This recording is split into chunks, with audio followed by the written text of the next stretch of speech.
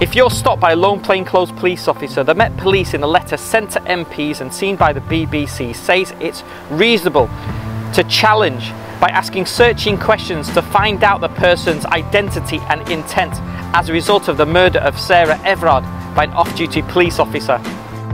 Example of questions to ask are, can I see your warrant card? Which police station are you from?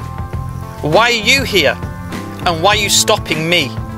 The Met letter continues to advise that if someone believes that they are in real and imminent danger, they must seek assistance. For example, shouting out to a passerby, running into a house, knocking on a door, waving a bus down, and if you're in a position to do so, calling 999. While many police officers work in plain clothes, the Met letter recognises the importance of people to check the legitimacy of police actions. Got it?